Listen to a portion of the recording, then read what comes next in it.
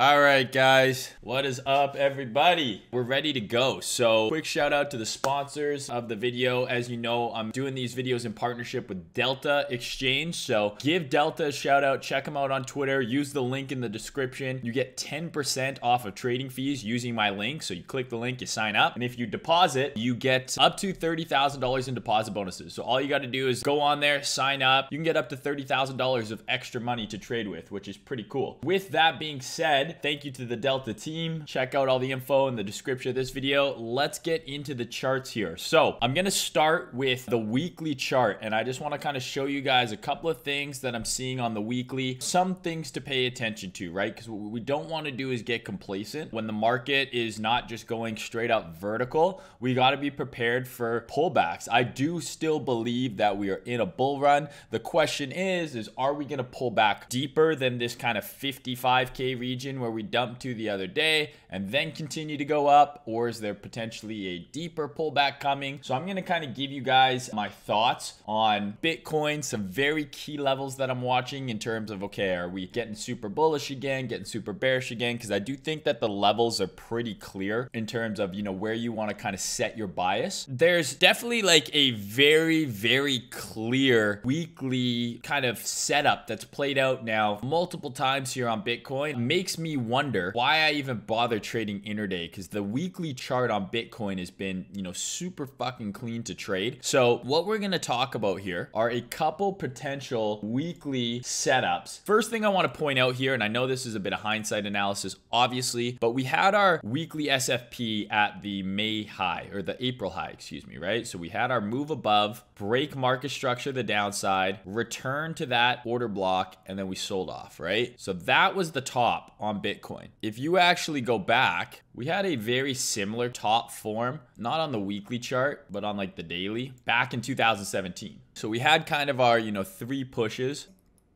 We had our run above. It wasn't an SFP, but it was a deviation, right? We went above the level, broke down immediately after. There's your break in market structure. And then we came back, retested that order block, and that was the top. So very similar structure played out here. Everyone's like, oh, this top wasn't like the previous tops. It kind of was. It was just spread out a little bit more. It took a little bit more time to develop. But in terms of the structure, to me, it looked very similar. We had that move here like this, right? There's your deviation above the high. If you want to see it as like similar to the 2017 top or whatever, break above, right back below, break market structure, come back and retest, boom, and it shit the bed. That was the high there. And basically every major move on Bitcoin has essentially been a weekly SFP. Weekly SFP at the low, boom. Not quite an SFP there, but pretty damn fucking close. And it might have been an SFP on other exchanges, but same idea, right? Deviate below the low, reclaim, launch. And we're now putting in a weekly SFP to the upside here, or we have. Something to watch here on Bitcoin, and this is what I had marked on the initial chart, is that weekly SFP here. We get a move that is a return to here. That would have been something that I would look at shorting. Now, would I still consider shorting this? Potentially, but the difference here between this and this is the way that this candle closed. We did close as a swing failure pattern of this key weekly low. So if you go watch my video from last Sunday or the condensed stream that I uploaded the next day, we did have this key weekly range low marked. And we did manage, I said at the very least, right? I want to see the bulls close back inside this weekly range as an SFP. And we did get that. And so right now, what we're looking at here is this weekly range. There's your high, there's your low. And we've now done this. Ran the high, now we've ran the low. If you're bullish, right, you really want to see us hold above here. Really, really, really want to see us hold above here and trade above here. Because if we lose this weekly low and we manage to close above it, now remember, daily market structure is broken. Three day market structure is broken. All the lower time frames are bearish in market structure. However, the weekly managed to close as a swing failure pattern. I don't think we should sound the alarm bells yet like it's fucking over, but we do want to be very aware that we just about closed below this level. So any sort of pullback here, I want to be very careful and be cautious up into this zone, much like we were here, right? So we had the big breakdown and then everyone got bullish again. And then what was it? It was just a lower high. So what I'm paying attention to here for the next couple days, couple weeks here is if we put in a lower high here, I want to be paying attention up into this 62 to 65k range. Because we've got that weekly bearish order block here. We've got our daily bearish order block here right into the sweet spot after a daily break in market structure. So if we come up here you got to be cautious. If this is going to have a larger pullback down to here which is my next area of interest kind of 52 which is here down to about 50 to 48 so 48 to 52k remember i'm talking about the weekly and daily time frame. So these are going to be larger ranges. I'm not just going to enter my entire trade at 52, but I might buy some at 52, some more at 50, some more at 48, and then have some stink bids lower. What I want to be careful with is a lower high potentially forming in this area, right? Because we have our daily break in market structure here. So that would give us our deviation, weekly SFP, daily market structure break,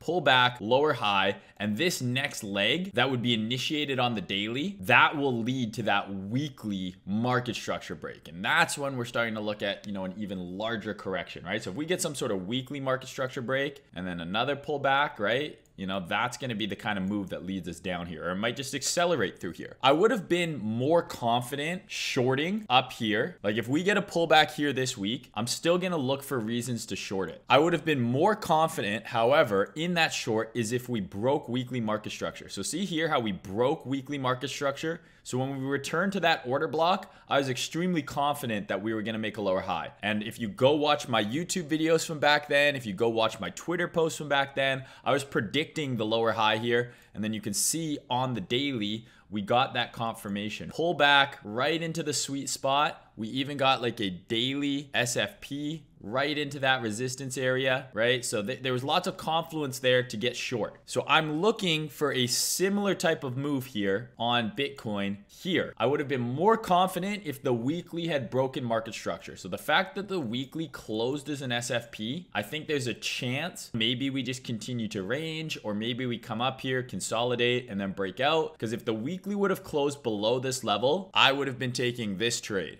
like a big swing trade, something like that and you could dial in on the lower time frame to get a tighter risk reward, right? So like on the daily, for example, the trade would probably look like this. Better risk reward because it's on a lower time frame, so my invalidation is closer to my entry. That's what I would have been looking for, something along those lines if the weekly had closed as a break in market structure. It didn't, so there is a chance that this trades back into the range and then continues higher. What I don't like is the low time frames all the way up to like the three day chart here have all broken market structure to the downside, including the daily. So the daily is now in a bearish trend here. What I also don't like is the fact that we broke market structure on the daily. We had this little pump and we came right into the first area of resistance 60K, big figure, right? 60K. And we have this bearish order block that formed a new low. And that is the bearish retest. If we break down from here, we are absolutely going to at least here but I'm probably looking to bid this zone 48 to 52. That would be the area where I'd be looking to catch a dip down into here. Maybe we get a reaction here, maybe we don't, down into this order block here. That would be kind of my higher time frame idea. Like if this is it, or if we go up, even if we go up from here, this is my buy the dip zone, this big gray box. And then I would also probably put some earlier bids at 52. So 52 down into this big gray box, which goes all the way down to 44,000, right? So be aware, doesn't mean you have to buy 50 and hold it all the way down. You can layer in, or you can just wait till we get down here and look for some bullish market structure and then get involved, right? You don't have to just buy on the first touch. This is an area, if you go watch my order block video, that I want to be a bull. So what does that mean? I'm looking on the low time frame for clues that the trend is shifting. You have to realize people want us to go straight to like, you know, 80k or whatever and, and, I obviously do too. But, you know, we went up quite vertical here. Yeah, we had a down candle in the middle, but other than this down candle, right? We had 3 out of the last 4 months were big body green candles to the upside. We do have a monthly SFP obviously. So be aware of that as well. But we had some big body expansion candles here, the upside. So if you pull your fib from the low that we made here up to the high, if this is the leg, the next swing, it's totally fine if it happens here, right? That is not a bad look for us to come down here and then make another leg, right? That's just an uptrend, high time frame. So I'm totally okay with this kind of scenario. I'm just showing you guys some things that I'm seeing and why I say, you know, you should express some caution because this is not the all-time high breakout that we wanted to see, right? We didn't want to see us just barely break above all-time high and then start putting in bearish market structure right there. I do think we ultimately trade higher, but it doesn't mean that we can't see a bigger shakeout here before another move up. So just be aware. So the levels that I'm interested in watching, this weekly swing low, I'll give you the level here. So this weekly swing low is at 57,600 according to Bitfinex, 57,606. Obviously the weekly closed as an SFP for now. Let's see if we can hold above that level. If it closes below that level next week, that's a weekly market structure break. The other levels of interest for me is if we are able to bounce from here, I'm looking to get short between 63 and 65,000 in that area. That's your fib retracement, and then that's that daily bearish order block. That is a level I'm interested in potentially shorting if we get there. If we are able to clear this SFP level at 67K or even this daily order block at 65, 474, if we're able to get above there, I think there's a good chance that the low is in and we trade much higher. So 65K, that's the level we got to get it back above high time frame to start looking really bullish again. Otherwise, I'm looking to probably sell the next decent bounce. This might be it. We just came and touched 60K after making a new low. That could be the bearish retest already done and we're going to make another leg lower. I don't know for sure, but what I do know is if we are able to reclaim now, now that we've had this level break the low here, if we're able to get above here, you're going to have a decent long opportunity at least into here. At least because this would become a breaker. Right now it's acting as a bearish order block, but if we're able to flip it, it becomes a breaker. It's essentially an SR flip. We took the low, reclaim that level. I think you've got a long for, you know, 5% up into 63K, 60 to 63 to 65K. So those are kind of my key levels of interest that I'm watching here. This 60K level effectively, which right now it's looking like a bearish retest.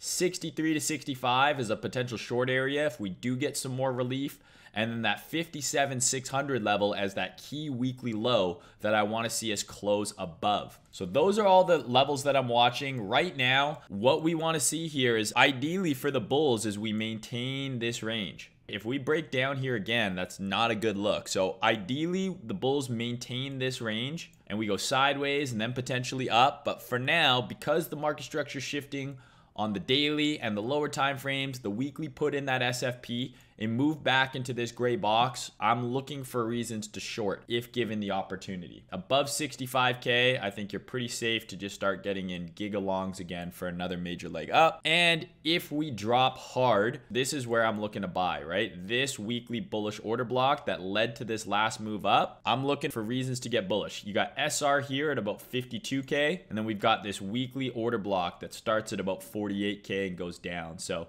this entire area is where I want to say, okay, the Bulls better step up here because if we get down here and we're not seeing bullishness, I don't know, that's really fucking bad. If we get down here, I want to see the Bulls step in pretty quickly and in a big way. I don't really want to see us come down here, right, and then just diddle around and start drifting lower into here. I really want to see you know, maybe that's what it takes to get that next leg up. We get a big liquidation cascade down in here, put in some sort of low, right, and then start trading back up to a bajillion dollars. So those are the scenarios I'm watching effectively right now. We didn't break the low, but if we get some sort of move back here, I'm probably looking to short it. If we can get back above this area here, 65K, looking to get into major longs. If we have some sort of sweep happen, right, run this low, close back above, anything along those lines, probably an okay opportunity to long, but I don't love how this, you know, everyone was cope posting here, right? Everyone on the feed was bearish here. We get that one green candle, everyone's bullish again, another green candle, everyone is like, okay, the low is in, Bitcoin looks great. And in reality, it's like, well, we actually just came up to the FTA, the first trouble area, and we're rejecting. So not ideal. So we'll have to wait and see. I'll obviously be covering this for you guys and keeping you up to date on Twitter and in Discord, but that's just kind of what I'm watching, right? You know, this top potentially could be similar to this one where it's, you know, we have that deviation, we get that breakdown, we get that retest, and then we sell, right? Deviation, breakdown. If we get the retest, I'm looking to short. The only difference in structure between here and here is that this weekly did not close as a break in market structure and this did. It's the only difference. I'll keep monitoring it for you guys and let you know my thoughts, but hopefully what I've explained here makes sense in terms of, you know, a potential short idea here, a potential long on a flip of 60K and why I would be bullish down here and then obviously get above 65K, why I'm bullish there. Okay, let's look at Ethereum. So this is the Ethereum chart that we drew up last week. So again, monthly swing failure pattern. The weekly, we broke above, same as Bitcoin. Oops. Same as Bitcoin here, right? We broke above, now we're back below, but we did not break that weekly low there. We held above it. Same as Bitcoin here. I think up into this kind of, you know, 43.75 area in a year, like up to like 45, 44 to 45, I think is a short if we're given the opportunity here, like this. That's a breaker right there. Should have been support. And look, we broke down. Look what happened. We came up, we just tagged it, and we're selling off. So you do not want to see that. From a market structure perspective, you know, Ethereum looks a little bit better. We did break market structure on the daily and shit. We're below that key monthly level. That's why this breaker worked out so well. You have our key high time frame level there's your breaker. Came up, tagged it, we're selling off. What I do like on Ethereum is that we're trading at this level here. I mean, we're trading into it right now. But Bitcoin, this equivalent level on Bitcoin is the one that rejected us at 60K. So you really want to see Ethereum kind of hold this area here if the market is going to turn from here and have, you know, a bullish rest of the week up towards, you know, maybe back up into here. But you want to see Ethereum hold where it is right now. It looks a little bit stronger relative to Bitcoin, but if this looked way stronger, longer, I think that's actually more bearish for Bitcoin. We're gonna have to wait and see, right? Again, everyone was super bearish. We had a couple green candles. Ethereum obviously outperformed majorly on the bottom, but now we're pulling back. Bearish retest for now. So we gotta see Ethereum effectively put in a higher low, kind of right where it is. I don't really want to see it go much lower than 4,000, like, you know, this level here. So if this is going to be a reclaim, right? We came into the level, traded below. I want to see a higher low form here on Ethereum. Maybe it comes down into here right? But I don't really want to see it get back below 4,000. Get below 4,000, I'm targeting 3,600. So you want to see Ethereum put in sort of like an inverse head and shoulders here, a low, lower low, higher low. That's what I want to see here on Ethereum because this did break to the upside. So want to see Ethereum kind of hold this level here, which is 4150, kind of around that area is where I want to see Ethereum find support. Similar to Bitcoin, we ran the low, closed above. The nice thing that we had on Ethereum here, last week we talked about a retest of this weekly level at 4,000. We had that big dump, it came to 4,000 and then it mooned over 10% from that touch of 4,000. And that is an idea that we talked about on stream last week. So if any of you longed Ethereum, it outperformed Bitcoin on the bounce, right? But Ethereum looks slightly better, still doesn't look amazing, but looks slightly better than Bitcoin. I really want to see us put in a higher low here. This is kind of what I'm hoping for on Ethereum. This to hold. So Ethereum, I want to see hold around 4150. Bitcoin, I want to see us hold around that 57,600 area. If Ethereum gets below 4,000, I think you look to short it down into 3,600. If it gets back above 4375, I think it's a pretty safe bet to long it for higher. Or you can get riskier. And if you want to try and catch the higher low, go down to like the H4. This is where you want to bid it. Right at that 4150 level down to maybe 40, 4050. So that's a $100 range on Ethereum with your stop down here. You'd want to see that be the low. The whole market kind of looks heavy right now. We have broken market structure on the daily as well. Market structure break, came in, retested the breaker, and is selling off. So, I mean, if you shorted this, good fucking job. You're comfy as fuck. Stop to break even at this point, target this low. You're chilling. Bulls really want us to hold within this candle right here. This, we have a 12 hour bullish market structure break here, 12 hour bullish order block. We really need to hold within this candle. So again, lose 4,000. I think you have an easy short into 3600 but hopefully because i want things to go up we put in a higher low around here. Come on bro. Come on. Get it together. I just chugged a fucking large coffee. So i'm like fucking i'm dialed in right now and you're gonna start chatting shit already? I fucking hope so. Cummies. You just want to hear me say cummies. Cummies. That's funny. It's like asmr but for gross crypto coins. Cum rocket. First time on the stream. I thought you looked different. You look cool though. Uh, thank you I think that's a compliment. Mayne is like 45 and bald. ban this man immediately. Makes me wonders you know, makes me makes me's wonders. Jesus Christ, where am I? Where am I? Ah! Sorry, there it is. You do whatever the fuck you want to do. I hope you just didn't make me say something rude in Spanish. Ass coin. Put more emphasis on the R and me peligroso. Grosso. Grosso. I can't roll my R's with my tongue. I can't do it. I can do this though. Look. I can also do this one. And I can fold my tongue in half without using my teeth. Watch.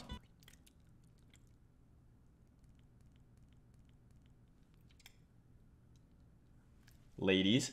Come rocket. Oh my god, the tongue thing is gonna haunt me. I already can see my editor making a weird segment with me doing things with my tongue, and it's gonna be terrible. Shout out to the editor, the homie. I love my editor, man. I love you too, man. You're a fucking legend. No, you are a fucking legend, my friend. What the fuck just happened? Come starter. It's the tiger blood, bro. It's the tiger blood. Man, this caffeine be hitting. Hitting different. Cut the shit, man. Are we going up or down? We're, we're going probably uh, up and down, and then maybe sideways, right? Maybe. Maybe, baby. I wish I could just kiss his sexy bald head like Zinedine kissed Fabien. Is that a shout out to like the fucking 2000 World Cup? Zinedine Zidane, you mean? I would headbutt you the exact same way. Smooth brained ape. I love that. Smooth. We're just all smooth brained apes, aren't we? Ass coin. The ladies loving Mayne tongue. I cannot confirm or deny that statement. But yes, they are. And we had some good banter. We had some good jokes. I showed you some weird shit I can do with my tongue. Let's get some beats going. Crypto.com, they do those visas. Um, they, I almost just pulled mine out and showed it to you. Imagine just the full docs with my visa, my name, and my visa number. There was some knowledge dropped here as well, a little bit of sauce, a little bit of thoth. I don't know why I did that. Whatever floats your boat. We were looking really good up until a couple hours ago. Funny how Twitter works, right? When the market's going up, everyone says it looks good. And when it's going down, everyone thinks it looks like shit. It's almost like no one knows what the fuck they're talking about or doing. Almost.